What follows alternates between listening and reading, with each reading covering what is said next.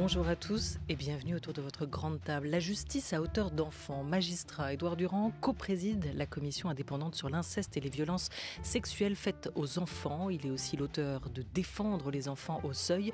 À partir de 12h55 aujourd'hui dans la grande table des idées, il plaidera pour une culture de la protection. Mais d'abord, les éditions Gallimard viennent de publier Guerre, un récit roman de Louis-Ferdinand Céline, un manuscrit retrouvé près de 90 ans après sa rédaction. Écrivain aussi controversé qu'adulé, quelle Céline se donne à lire, se donne à voir dans cet inédit de l'auteur du Voyage au bout de la nuit et de Mort à crédit. Pour en parler, Antoine Gallimard, le patron des éditions Gallimard, président-directeur général de Madrigal, et l'écrivain et éditeur Yves Pagès, directeur littéraire des éditions Verticales, auteur de Céline, fiction, du politique, et c'est tout de suite. France Culture, la grande table, Olivier Gesbert. C'est le sadisme et la violence de l'homme qui, euh, vous écœurent, une fois pour toutes. Hein. Voilà, c'est le sadisme et la violence de l'homme qui vous écœure. Une fois pour toutes, il fallait ouvrir avec sa voix. À la fin de la euh, Seconde Guerre, Céline fuit Paris pour l'Allemagne, laissant chez lui, dans son appartement parisien, plusieurs manuscrits, dont celui-ci, Guerre, va lui être dérobé après la libération pendant son absence prolongée, avant de réapparaître l'été dernier. Conservé pendant de longues années par le journaliste Jean-Pierre Thibaudat, les 250 feuillets manuscrits de l'auteur vont être publiés par Gallimard, à commencer par euh, ce guerre court, éclair, 150 pages condensées. Bonjour à vous, Antoine Gallimard. Bonjour. Bonjour et bonjour Yves Pagès. Bonjour. Bonjour, bienvenue à tous les deux. Merci d'être avec nous pour cette grande table culture consacrée à ces inédits de Céline. Il y a quatre ans, euh, Antoine Gallimard, Céline était au cœur d'une vive polémique autour de la republication de ses écrits antisémites, dont Bagatelle pour un massacre. Vous aviez finalement jugé que les conditions méthodologiques et mémorielles, je vous cite, n'étaient pas réunies pour euh, l'envisager sereinement. Quatre ans après, c'est la publication de Guerre et c'est l'événement littéraire de ce printemps. On parle d'un chef-d'œuvre, on applaudit le génie de l'auteur. Il n'y a bien que Céline pour susciter des réactions aussi diamétralement opposées, non? L'être le plus aimé, le plus honni des écrivains français, ou certains disent le plus détesté des hommes et le plus adoré des écrivains? Oui, je, pense que Céline est un, est un bon exemple du drame français. Euh, je pense que à la fois vous avez un écrivain dont on a vraiment salué euh, l'écriture explosive, euh, dont on il n'y a pas plus, plus célinien que, que Céline lui-même, parce qu'il force toujours le trait. Euh, et, et, en même temps, voilà, il, il a eu une, une, vie, et surtout dans, dans, le cadre euh, de l'après-période de, l'occupation de monde, pendant l'occupation de monde, une, vie désastreuse. Donc euh, c'est vrai que là, il, suscite, il suscite beaucoup d'émotions. Et je l'ai bien vu quand j'ai eu ce projet de, faire une édition critique, historique, euh, de, de, de, ces pamphlets. Vu l'émotion que ça dégageait, j'ai préféré pour l'instant euh, y renoncer. J'ai même pas eu le temps d'expliquer vraiment mon projet. Mais moi, ce que je voudrais vous dire, c'est que je suis heureux là aujourd'hui.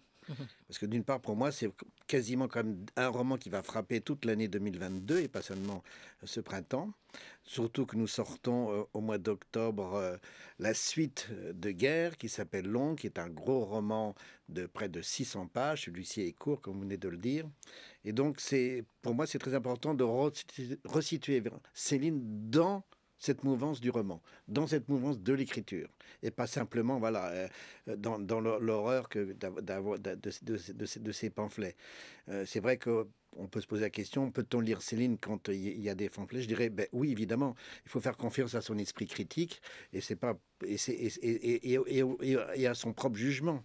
Et je pense que là, le fait qu'il y ait ce magnifique roman, hein, Monsieur Pagès peut très bien nous en parler, mais c'est un roman effectivement qui, qui à la fois, je dirais, c'est l'entrée pour comprendre Céline, à la fois parce qu'il touche sur la guerre, sur la mort, qui ont toujours hanté Céline, et il a, il a on a eu beaucoup de chance avec ces quatre livres qu'on a découverts, qu'ils étaient quasiment euh, aboutis. On a l'impression seulement que c'est comme un, une pierre brute qui n'aura pas été relue par les correcteurs et les préparateurs de copies.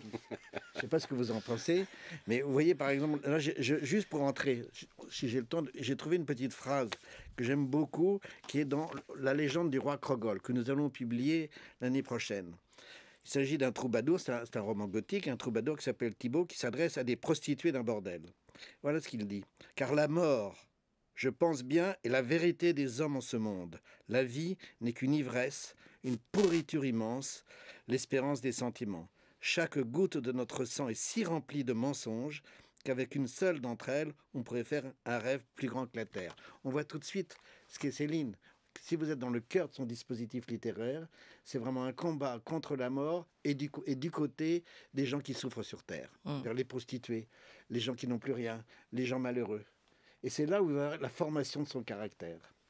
C'est pas facile avec vous, Antoine Gallimard. Hein, de, ça va pas être facile d'échanger durant cette, cette demi-heure parce que non seulement vous êtes éditeur, patron des éditions Gallimard qui publiait ces inédits de Céline, mais en plus vous êtes complètement un fan de l'auteur. Euh, vous avez euh, dirigé à l'époque la Société euh, des, des, études céliniennes. Vous avez euh, euh, créé, fondé les, les cahiers euh, céliniens au moment où vous entrez dans cette belle maison. Mais néanmoins, il va falloir quand même passer la parole à Yves Pagès pour Oula. vous demander à vous, entre l'homme et l'écrivain, Comment vous parvenez euh, à faire la, part des choses? Est-ce que euh, cette part des choses, vous la faites sans mal? Euh, qu'est- Qu'est-ce qui vous touche? Comment vous, l'acceptez comme ça, ce, Céline, avec tous ces paradoxes? La part des choses pour Céline, euh, bah, c'est- ça qui est intéressant, c'est que c'est à la fois la question de la fiction et du pamphlet, c'est aussi la question de ces contradictions intérieures qui apparaissent à l'intérieur des romans. C'est-à-dire à l'intérieur des romans, il y a, euh, des, pour simplifier, des pulsions de vie, des- de, de l'instinct de mort, il y, a, y a de la tendresse et il y a une misanthropie euh, euh, mégalomaniaque. Mais d'emblée, c'est déjà dans la fiction. Sauf que dans la fiction, c'est toujours en ambivalence, c'est toujours en contradiction interne. Et ensuite, on a euh, la question des pamphlets, que moi j'appelle des écrits de propagande même, et qui, où là, il n'y a plus du tout d'équivoque. On est dans un discours univoque et on défend une vision du monde, euh, non seulement antisémite, mais euh, racialiste, biologique, comme dans l'école des cadavres. Et pour moi, donc, il faut bien faire la part des choses, c'est-à-dire, à un moment donné, il a, pour des raisons qui, qui demeurent à expliquer, il a vendu pour moi sa, sa plume à ce qui est le contraire même d'un écrivain de fiction. Un écrivain de fiction, il est là pour, d'une certaine manière, euh, essayer d'épancher le, le désordre qui est en lui et pas essayer de donner des leçons et des ordres pour euh, changer l'ordre du monde euh, d'une certaine manière. Yves Pagès, Antoine Gallimard l'évoquait, ces inédits forment un, ensemble avec le reste de son œuvre, un romanesque déjà connu. Comment cette découverte va renouveler ou renouvelle déjà le regard que l'on porte sur le projet littéraire de Céline, pas sur l'écrivain, mais sur son projet littéraire dans l'entre-deux-guerres Est-ce que c'est le, le- le chaînon manquant, ces manuscrits Absolument. retrouvés? Là, moi, j'avoue que on pouvait être nombreux à, à- à émettre des doutes sur l'ampleur des manuscrits euh, disparus euh, après la fuite de Céline vers Sigmaringen. Euh, il s'avère que l'ampleur est réelle. hein, C'est-à-dire qu'il n'a pas menti sur ce sujet-là. Et, et que, en fait, les chaînons manquants dont, dont vient de parler Antoine Gallimard, c'est-à-dire guerre et Londres, sont des choses qui, a priori, on a des moyens de le dater, ont été écrits en 34, c'est-à-dire deux ans Voilà, après. Voyage au bout de la nuit, c'est publié en 32. publié en 32, Mort à crédit, il y a bossé, 36. disons, de, de 29-30 à 32. Et, et- et- et maintenant, on sait que dès les années, dès la fin, dès, dès 1930, il avait cette idée enfance, guerre, Londres. C'était le triptyque, c'était la matrice. La matrice à laquelle il va se consacrer finalement, puisque Mort à crédit, c'est l'enfance aussi. Et voilà, c'est sa matrice. Il fait le voyage. Qu'est-ce qui se passe dans le voyage? C'est que la guerre, ça fait, contrairement à ce qu'on pourrait croire, quand on se souvient du voyage, on se dit Ah, c'est un truc sur la guerre de 14-18. Pas du tout. Ça fait un, huitième du roman. Et, et qu'en fait, immédiatement après, Afrique, États-Unis, banlieue, oh c'est-à-dire qu'en fait, il s'est fait déborder par un roman qui n'est pas du tout correspondu à la grille de départ qu'il voulait avoir. Il est probable, on en a presque la preuve maintenant, que dans le voyage, il voulait faire le petit séjour à Londres. Et que et, et voilà, donc en fait, on, on s'aperçoit de comment ça fonctionne un romancier, c'est-à-dire, il a une matrice, il a un plan, il a un objectif en trois parties, comme certaines personnes par exemple qui ont fait des grandes écoles, en trois parties, et puis finalement, dans la première partie, il explose tout en partant dans une ligne de fuite qui est complètement différente. Donc pourquoi Antoine Gallimard, il ne les publie pas à ce moment-là, dans l'entre-deux-guerres, dans cette décennie euh, 30 euh, Parce que le projet euh, reste inachevé, est Voilà, tout à inabouti fait. Je pense qu'il a, il- il a conçu ce projet en cours de route. Au départ, effectivement, il voulait faire ce projet. C'était, c'était le, le voyage, puis Raymond crédit. Mais ensuite, il s'est aperçu qu'il y avait suffisamment de matériaux pour créer ce, cycle dont, parlait Yves Pagès. Je pense que ce qui est intéressant, c'est qu'à la fois il va jouer sur deux paliers, à la fois le, palier de sa vie et puis le palier de l'imaginaire. Et sans arrêt, on a même des, personnages qu'on retrouve dans Guignol's Band euh, sur l'enfance. C'est-à-dire sans arrêt, c'est une sorte de théâtre, une théâtre, de jeu de marionnettes, des vivants, des, des, des êtres imaginaires. Et tout ça est fait avec le bruit des canons, avec la, la, violence de la vie. Et, ce qui est intéressant aussi, c'est que dans ces livres-là, il, se lâche complètement. il y a des aspects un peu bruts. Hein. Je veux dire, il peut y avoir beaucoup, une sexualité un peu chaude, il peut, y, avoir des scènes très très dérangeantes.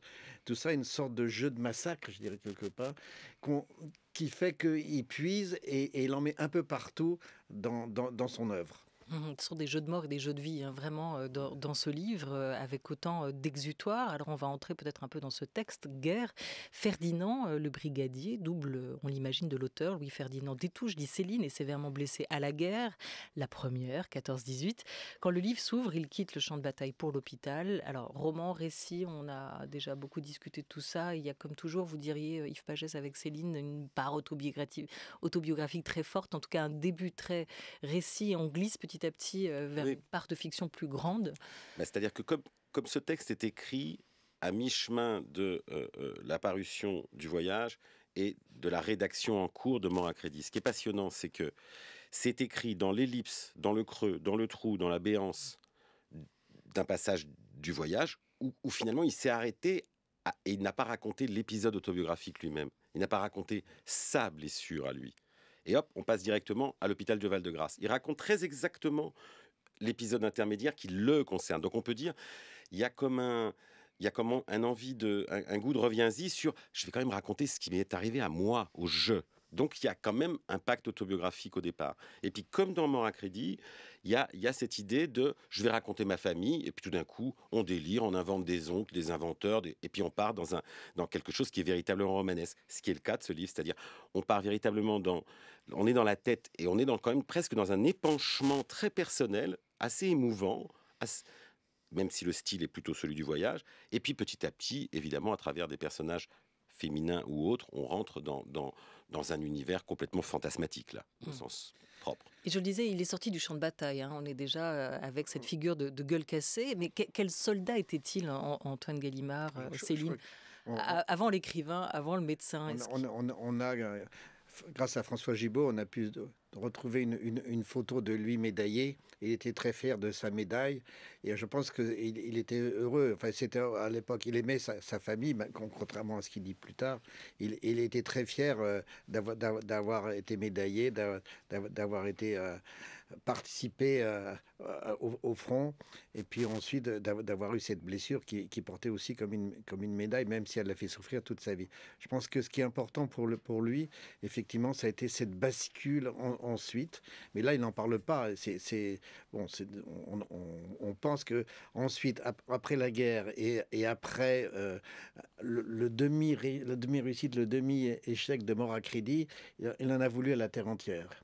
Et, par exemple, il, y avait un, dispensaire, il voulait être le responsable, il l'a pas eu, c'était un antillais, mais il a, il a commencé à le traiter de juif. Je veux dire, toute sa vie privée, en fait, en, recul, en retrait, va, jouer, mais il n'en parlera pas réellement.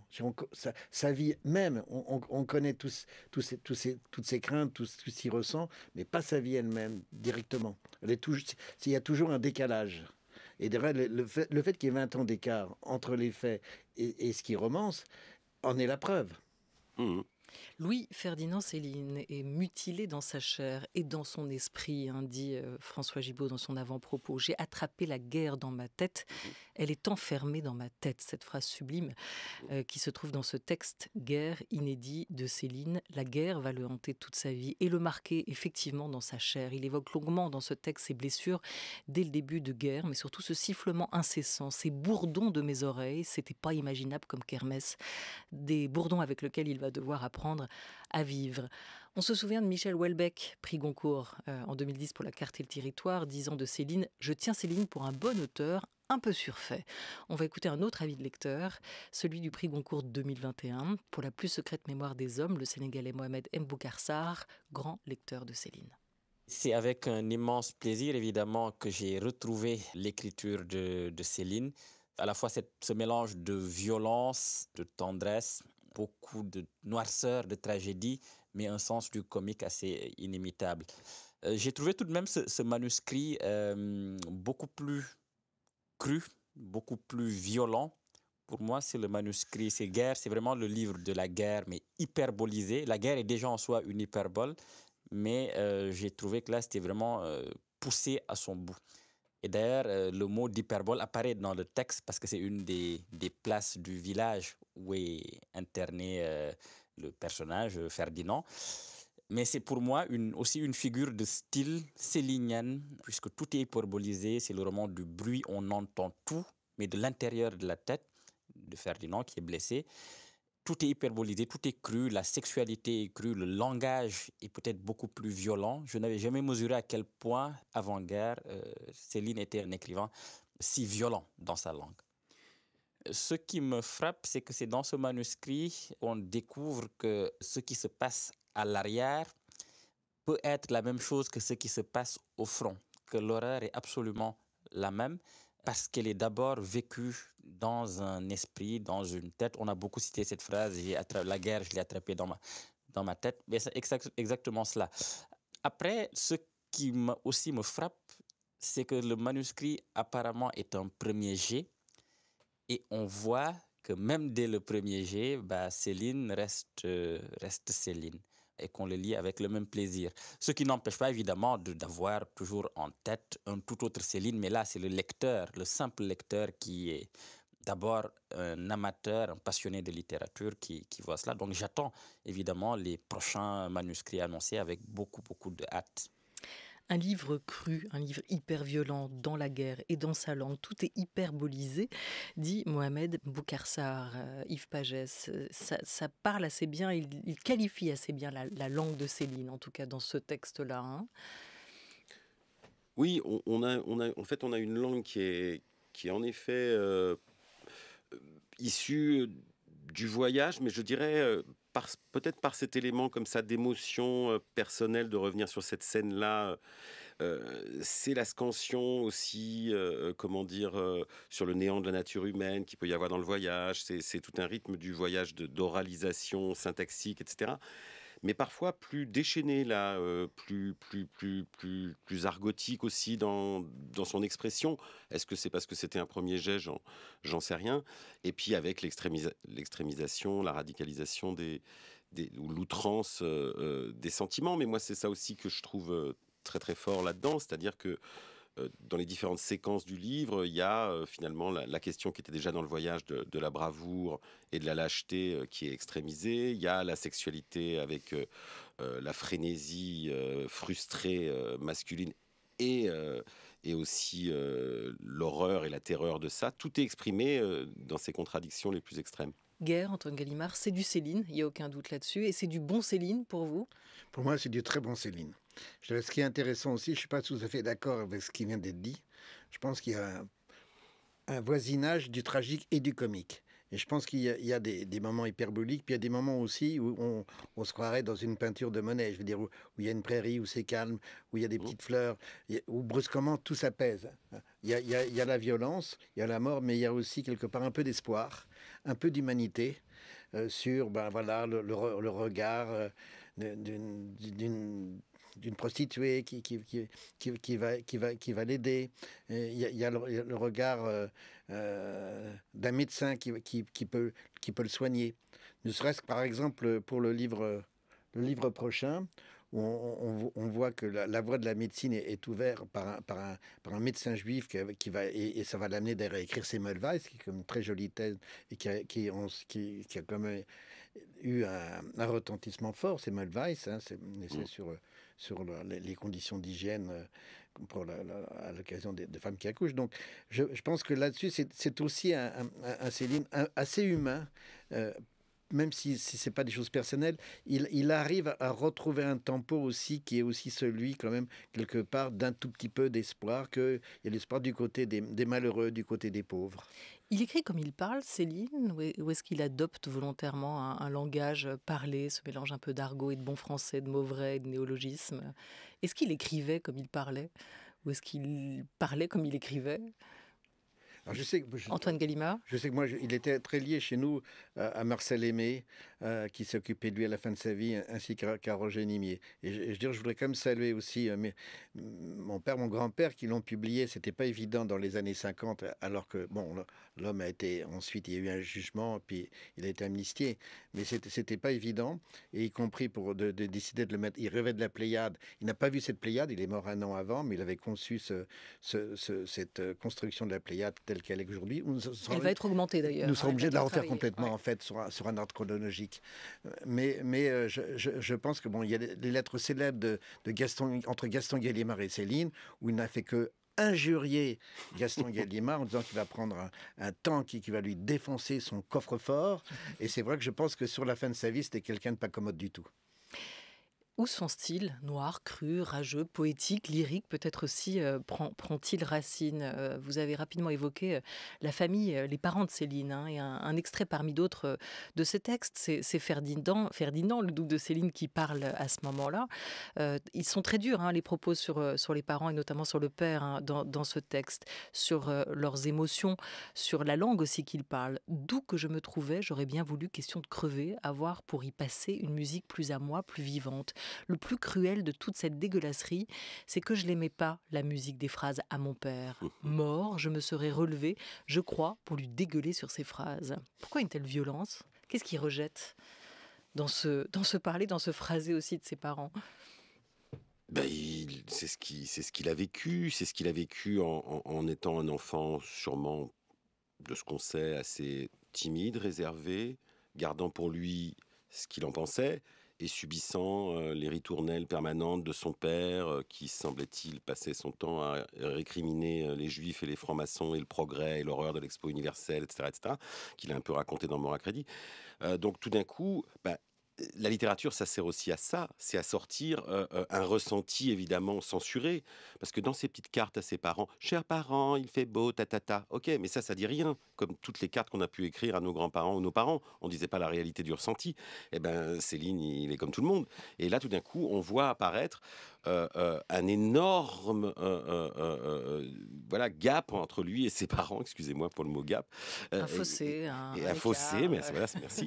et, et, et, et, tout d'un coup, ça sort, et en effet, ça sort avec une violence qui est exagérée, inouïe, mais qui rend compte à ce moment-là de ce que c'est finalement, parce que la scène, il faut un peu la contextualiser, c'est simplement que ses parents, à un moment donné, venus à son chevet alors qu'il a failli mourir, vont tout d'un coup s'inquiéter de devoir payer ses frais de cantine militaire. Donc la mesquinerie de la petite bourgeoisie dont il est issu, du petit assure, du petit euh, courtier en assurance, et puis de la petite maman boutiquière, etc. À un moment donné, ça, il le rejette. Et c'est très fort, c'est très beau. Céline. Moi, je ne suis pas peintre. Quand je vois un arbre, je le laisse tranquille. Je ne suis pas musicien. J'entends une chanson, je la laisse tranquille. Je dis, c'est très gentil, bien, j'applaudis, puis, ah, je dis un beau tableau, mais enfin, au fond, j'aime bien le chromo, et, puis j'aime bien, bien la polka des patineurs, le Danube bleu, euh, la symphonie de Beethoven, toutes ces choses-là me plaisent beaucoup. Je le dis, mais j'ai pas envie de, transformer tout ça. Non. Tandis que la phrase, Madame, euh, je la tortille, euh, j'ai envie de la travailler. Alors, bon. La phrase je la tortille, j'ai envie de la travailler. Antoine Gallimard, sa vie, on l'a dit, hein, c'est son matériau littéraire. Mais au fond, pourquoi Céline, médecin, écrit-il? Pourquoi ce besoin de littérature? Je pense que je pense qu'on a toujours en soi une, dose de, violence. Et, là, il, a, eu, comme le dit Yves Pagès, bon, un retournement. C'est comme un enfant qui, voilà, qui conteste tout, qui va casser ses jouets, puis va casser les relations avec ses parents, qui va casser les relations avec ses amis, et il ne supporte pas le jeu social. Donc, il, devient, il, a un comportement plus, plus que plus qu'anarchiste. D'ailleurs, c'est un moment, on le voit bien pour certaines choses. Bon, c'est des, des comportements cliniques on peut dire, euh, qui n'excuse pas du tout ce qu'il a écrit. Mais je veux dire qu'il il, va beaucoup plus loin et plus rien ne le retient. Il y a une sorte de, fracture dans, les choses et il a besoin de cette écriture pour, rester en vie. Euh, son écriture devient le fil de sa vie il danse devant la mort et il, est là. Il a absolument besoin de laisser, quelque chose qui lui montre à la fois sa solitude, son désespoir et puis euh, voilà ce qu'il pense. Je pense que l'écriture, pour lui, c'est vraiment une façon de, bah, de garder encore un, lien antisocial avec le monde.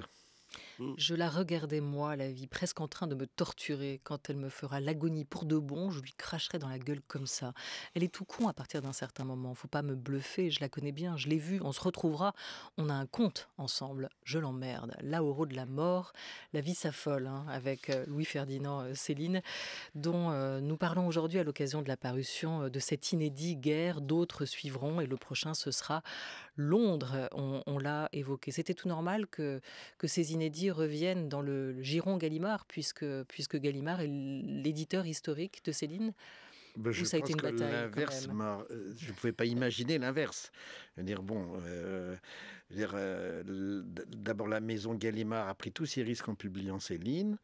Céline ensuite avait d'ailleurs les pamphlets n'ont pas été publiés. Céline ne souhaitait pas la réédition des pamphlets.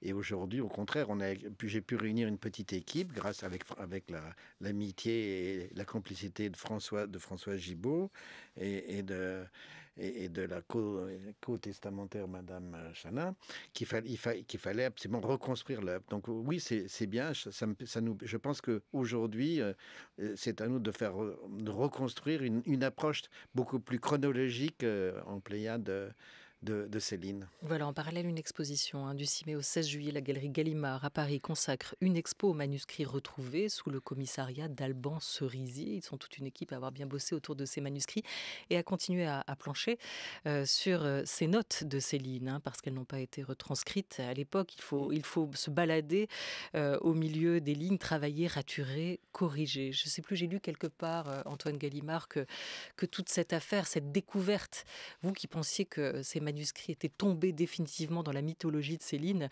euh, bah, vous font tellement de bien que vous en arrivez presque à oublier la fusion en cours entre Hachette et Editis. Alors on ne va pas en parler. Vous reviendrez nous en parler quand vous Non, non mais je, pense qu'il faudrait peut-être trouver quelques mots céliniens pour en parler. Non, non, je dirais que simplement, c'est vrai que l'équipe est formidable euh, et, je salue le travail de Pascal Fouché parce que je sais pas, vous, vous, verrez, j'espère, le manuscrit, c'est une grande partie totalement indéchiffrable. Ils ont fait vraiment un boulot remarquable. Antoine, Antoine Gallimard, Yves Pagès, merci beaucoup à tous les deux d'avoir été avec nous. Cette émission a été préparée et programmée par Henri Leblanc et Oriane Delacroix. Merci à eux. Belle journée.